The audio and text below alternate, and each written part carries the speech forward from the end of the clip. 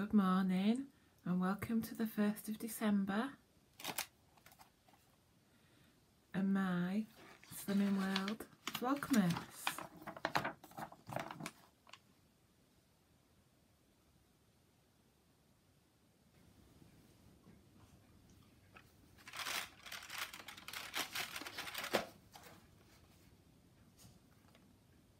What do you get if you cross a snowman and a shark? Frostbite.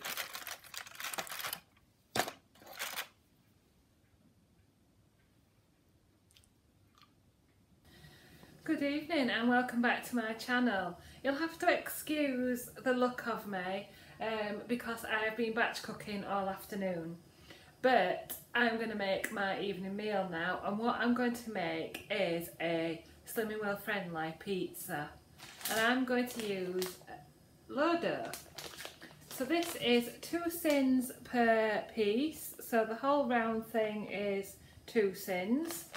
And it says 39 calories, which is obviously two sins. High fibre, fat free, low carb, gluten free, dairy free, high protein, paleo, sugar free and vegetarian. Now all I'd say where it says dairy free is it does contain eggs. Excuse me, so just be aware of that. But other than that, it says Lo-Dough is ready to eat straight out of the packet. Simply open using the rip strip across the top, slide the product out and separate from the paper. You do get two slices in a pack. Um, Make kebabs, burritos, indulgent wraps and pizza with a fraction of the calories. Lo-Dough is different to traditional bakery products. Due to its unique composition, it can dry out quickly if baked in the oven or heated under the grill without toppings.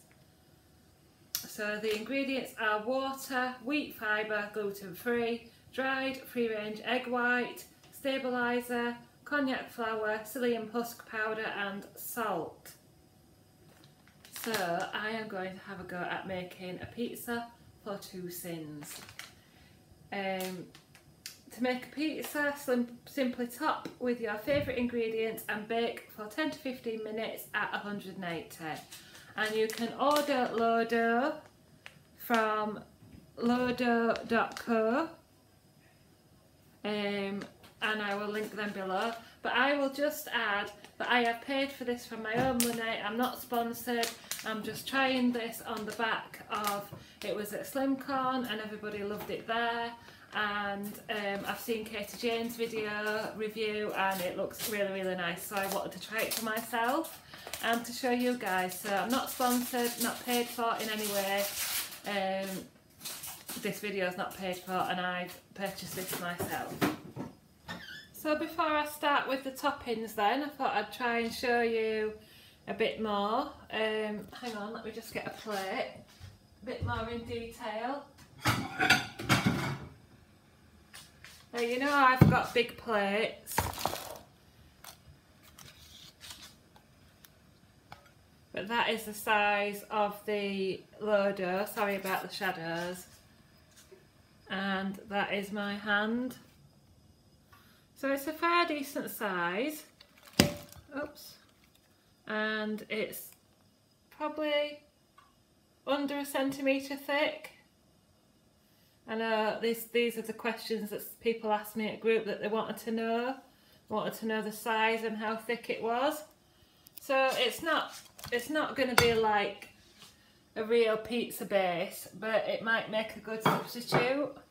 I've decided to bake it on my chip mesh as my consultant is always going on about how good it is to cook things on here. So let's see what we're going to top it with. Right, so I've got all my toppings ready. I've got some um, passata in here. This was left over and I froze it. Um, so what I'm going to do is I'm going to use a pastry brush to um, paint to put some on. Pour a little bit on and then spread it out. You can use um, tomato puree or bit more. It is a little bit watery because it's been frozen.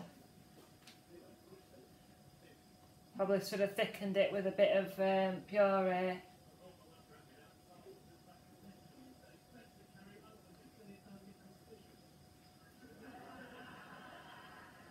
Right, so I've got um,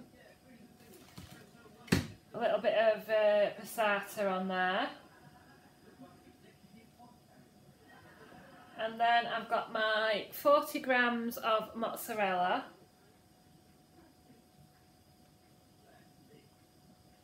Now I know what I should have done is um, grated this up smaller, but never mind.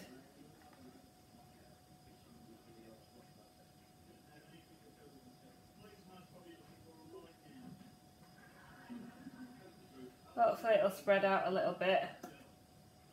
That's definitely a big a, a big tip then is um, with your 40 grams of mozzarella use um, one of this get your uh, if you get a non-grated one you can have more as well. And then use the small side of your grater. So then Andrew's chopped me up some beef tomatoes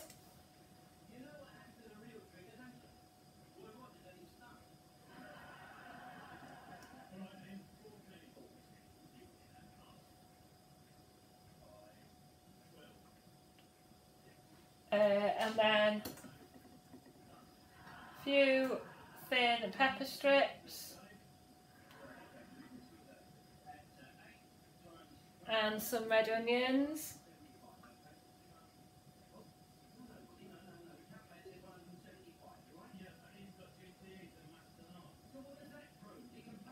you can hear that in the background, it's only fools and horses.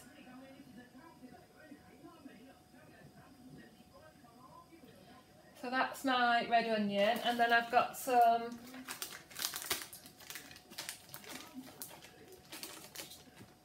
you won't be able to see that? Barbecue um, chicken mini breast fillets. These are from um, Morrison's and they are free. I've just cut them up a little bit and I'm going to just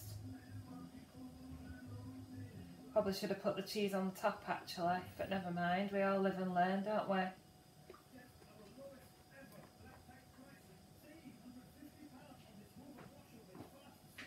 think that's enough chicken. And then I'm just going to scatter it with some oregano.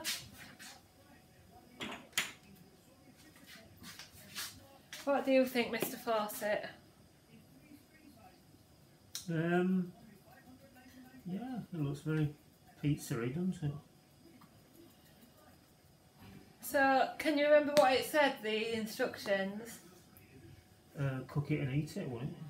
Was it 180 for oh, 10? Oh yeah, 180 for 12 to 14 minutes. Yeah, so I am going to go and do that and I'll come back and we'll have a taste. The dough's been in the oven on 180 for 11 minutes and I can see that it's gone crispy on the outside and all the cheese is melted and the toppings are well cooked so I think it's time for the taste test.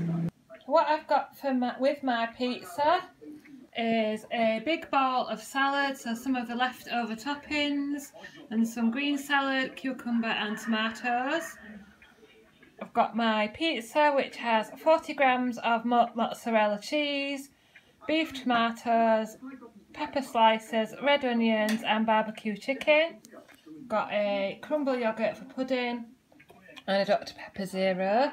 And now I'm going to hand the camera to Andrew so he can film me tasting. Hello, my name is Andrew and I am now filming. Take it away. Right, so yeah, there is a little bit of a, a crunch to it. Got a bit that's just loader and that's what it's like underneath. Hmm. Hmm. Yeah. It's it's nice, yeah. It's not a pizza crust, but it's about the nearest you're going to get.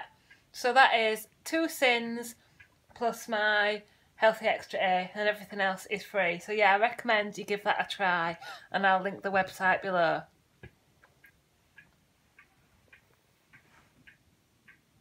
I thought I'd add some more thoughts on the loader. So I found it really, really filling and I've actually left some.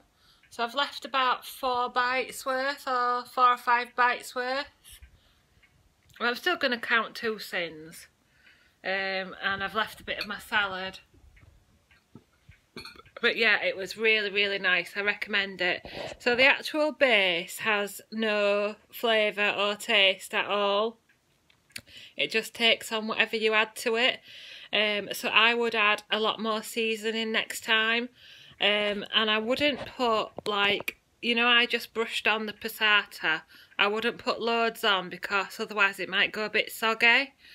Um, and I'd probably I'd maybe do it another minute or two um, just to see if the the middle will crisp up anymore. I mean, it wasn't soggy, but it's got the potential to be soggy. So if you um, make sure you cook it for at least 11 or 12 minutes uh, in the oven.